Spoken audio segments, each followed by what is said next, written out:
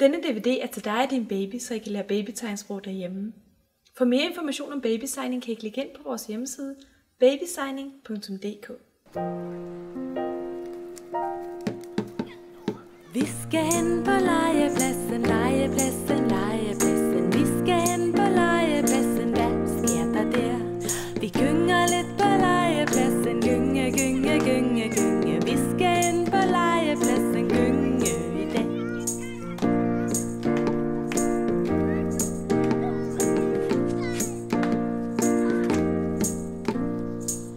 Rutscher ned ad rutsjebanen, rutscher ned ad rutsjebanen, rutscher ned ad rutsjebanen, legepladsen her. Vi vil gerne lege i sandet, lege i sandet, lege i sandet. Bygger slottene i sand på legepladsen her.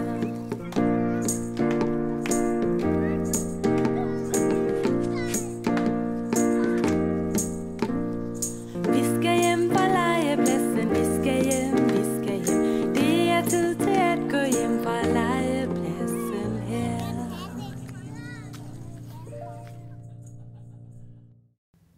Her er Selma og hendes mor.